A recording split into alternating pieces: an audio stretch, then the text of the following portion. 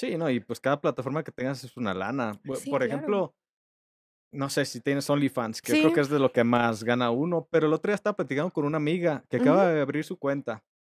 Y no sé, me dijo, creo que tenía 10,000 seguidores. Y le dije, ¿cuánto vas a ganar por lo el contenido que estás subiendo? Me dijo, como 26,000 pesos. Y dije, ah, cabrón, digo, yo hubiera querido ganar 26,000 pesos con 10,000 seguidores en YouTube. No, eso es mentira. ¿No crees? ¿Gana Es más? mentira, es mentira. No, la verdad es que mira, ahorita hay muy mala información y hay muchas morras que se están dando la de: "Ay, yo subí mi primer video y gané 60,000 pesos".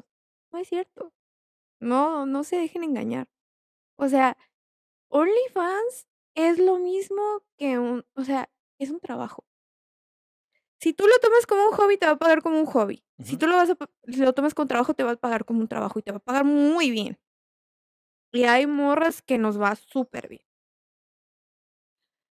Pero esto de que subes tu primer video y andas ganando esas cantidades, no es verdad, porque le tienes que trabajar. Si tú eres una morra que tiene de seguidores en en las plataformas de Instagram y todo eso, lle llevas, no sé, 20,000 seguidores, 50,000 seguidores te van a ir a seguir ¿10, Ujú. 15 personas se van a suscribir? Hasta menos, ¿no? Dentro de la plataforma tienes que hacer una labor de venta. ¿Sabes?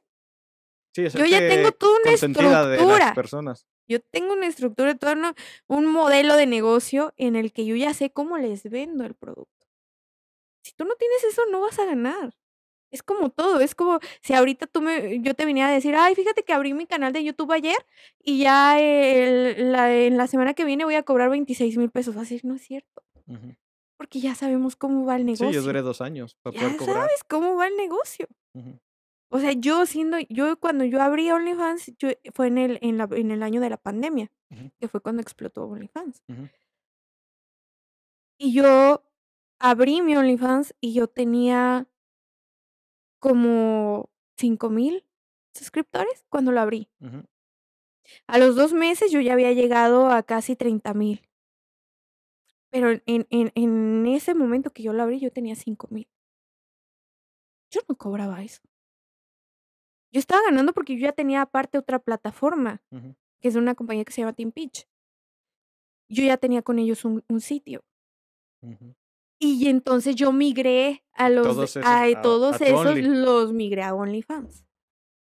Y hay gente que paga los 2, Ajá. porque yo les subo diferente contenido. Sí, es que es que así debe ser en cualquier plataforma. Ajá, para yo poder ganar de los 2.